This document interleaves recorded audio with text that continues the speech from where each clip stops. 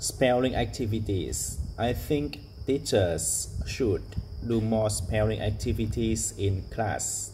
My teacher in English isn't very good. We need more spelling activities because English spelling is so difficult. How can we remember when a C sounds like a K or an S? It's sometimes impossible to figure it out uh, why words are spelled the way they are. There are loads of uh, really good websites that have spelling activities. We need to do more of these in class.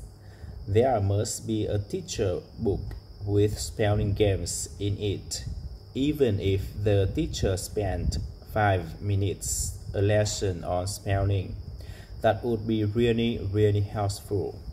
I suppose it would be it would take a lifetime to learn all of the different spelling rules. My teacher even told me he didn't know most of them